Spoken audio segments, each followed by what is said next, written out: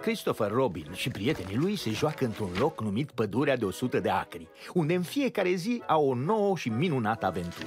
Această poveste se petrece într-o noapte tare furtunoasă. Uinii de plus se pregătea să se culce când și-a amintit de ceva înfricoșător. Tigru îi povestise de niște ființe misterioase numite elefampi și novoștiuci, ființe care fură mierea.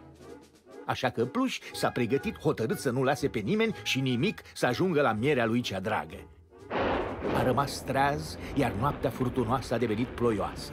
A stat de pază, o oră după o oră, până când...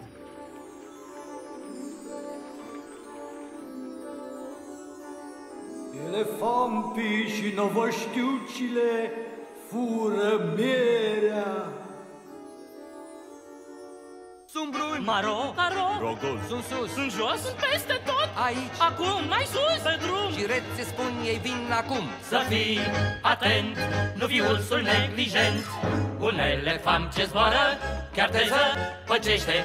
Nu poți să-l prinzi și scapă printre deși Deși, vii câte unul sau doi Când li se năzare, tu-i vezi multiplicați chiar pe cărare Re, Ei sunt de orice formă sau orice mărime.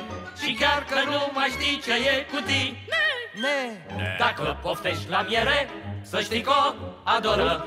Ei o mănâncă și se prind în horă.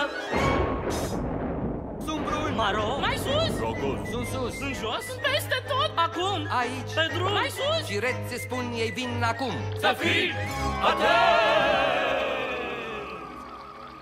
Când Pluș s-a trezit din visul lui ciudat, a văzut ceva tare neplăcut.